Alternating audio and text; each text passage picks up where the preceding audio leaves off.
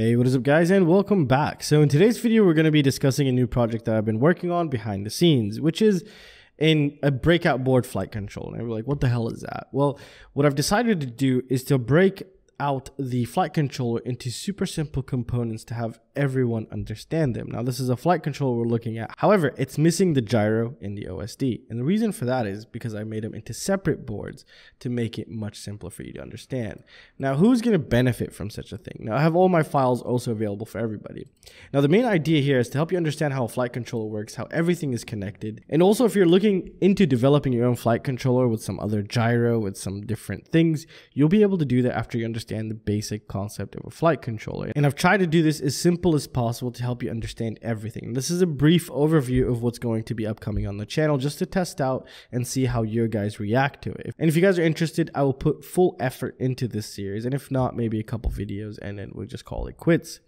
And again, I do hope to continue this topic and then we jump into the ESC, then we do the F7 but let's quickly understand what we have in front of us here. So here we have the flight controller breakout board. Now this is missing the gyro and the OSD, and the reason for that is because I have them separately. This is the OSD right here, and here's the gyro right here. Now, if we take a closer look at the flight controller, you see I've broken out pieces of this so you can make better understanding of it because it's very simple. What we have here is we have a 5 volt regulator.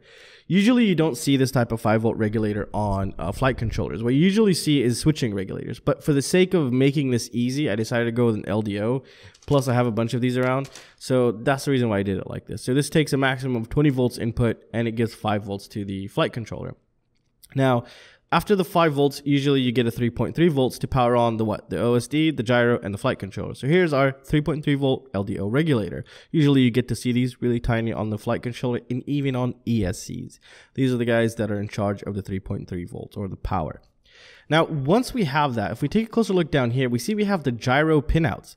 So what's really unique about this design, obviously you're not going to be able to put this in a quadcopter, but if you if you are a developer, you know, if you're developing something, you'll be able to bring in another gyro and just connect it right there and try to program for it. And it's just, it'll just be that simple for you to debug, make sure it's working. Then later on, we could incorporate it into a final version of a flight controller, which I already have done before, but we'll come back to that later on. So here's the gyro section. We have 3.3 volts, we have ground, and the chip select, and you'll get to see the exact same pads on the gyro board. Now, if we look up here, we find the OSD section. We have VDD, which is 3.3 volts, ground, and the other wires it needs to talk to the flight controller. Very simple stuff.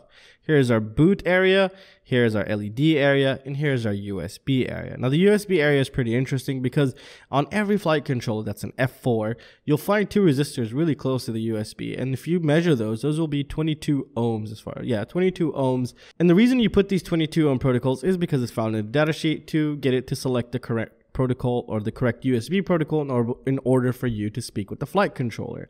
And that's really it. And here you get to see a Schottky diode usually and what this does is because once you plug in the USB, it gives 5 volts, and you also have a 5 volt regulator. So if you had the battery connected and you plugged in a USB and you didn't have this, you basically have them short each other, and you can screw your USB, you can screw up a lot of things. So you put this little Schottky diode right here, and what that'll do is it'll take the 5 volt from the USB, take the 5 volt from the regulator, and just output it from here. It'll decide which one goes through and one goes through without them shorting each other out. And that's what that's for. And usually when you have your flight controller booting up from battery and it's not booting up from USB is because this thing went bad. That's all that usually happens and vice versa. Usually these guys go bad. See, as you can tell, you, you'll be able to understand and debug more because all of them are basically identical. And the only difference is the type of regulators they're using, but the main concept, this is a simple form as you can get right here. Now, if we take a closer look here, we see we have a capacitor, capacitor, capacitor, capacitor, capacitor, capacitor. Most of these, except one, I think, are used just to smooth out the voltage, just to keep it smooth and, and you know, remove the noise and keep it filtered, 3.3 volts, just to the flight controller. That's all that's for and this is the minimum amount you need to get going which is really crazy it's it's very minimalistic and this thing right here is that you know that the gray the gray shining thing that says 8 megahertz on there that's the, the crystal resonator right here. Because the flight control uses that as a reference to know its clock speed and it has a multiplier inside. I know it runs higher but it uses that 8 megahertz multiplier and that's how you get your clock speed basically. So let's go ahead and take a look at the osd part real quick. So let's just go ahead and find that And now we're looking at the OSD. Now this is everything you need in order to get an OSD working. We have our tantalum capacitors, we have some more capacitors. Now most of these capacitors are, again, just to smooth out the voltage for the OSD chip, and it takes 3.3 volts. We have 3.3 volts, ground, as you can tell, look, it's going right there. These are all going through. We have, I just put more grounds everywhere. And these are the same exact pins that we saw on the flight controller board. We have CS, S clock, data in, data out, uh, video ground, which is for the video input. This is where your camera would actually go, and this is where your VTX yellow wire would go. And here's just some grounds on the same board. So we have uh, uh, everything grounded properly. And if we move on to the gyro, it's the same exact thing with the gyro here. We have a couple capacitors just to keep it stable. And then we have our pins and, you know, our power input 3.3 volts and ground. And the same pins here you'll find exactly on that flight control. So here's the gyro section. Here's the OSD section.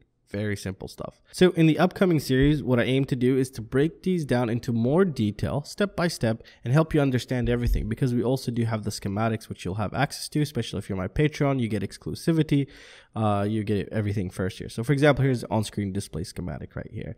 And I will make more sense of this. It might look complicated, but it's actually not. It's really simple stuff, especially when you start taking things away from each other and understanding them piece by piece. Everything will start to make sense and you'll be able to look at any flight controller and know what is what, which is something really great. And at the same time, I try to keep in mind to keep the size of the capacitors and resistors as large as I can in order to help you solder. And at the same time, it'll make it so much easier on me because these are development boards and, and they're aimed to teach you how these things work, even, you know, practicing your SMD soldering and even designing your own flight controller or some other variant because you'll be able to do quite a lot with this. So it's, it's really, really great. And um, it's going to be very interesting. And I really do hope that you guys will be interested in this because I would really like to put my full energy into this and uh, this little project or series, if I should say, because the next series would probably go into the F7 because once we design the F7, all we need to do is just replace this part right here. Everything else will stay exactly the same.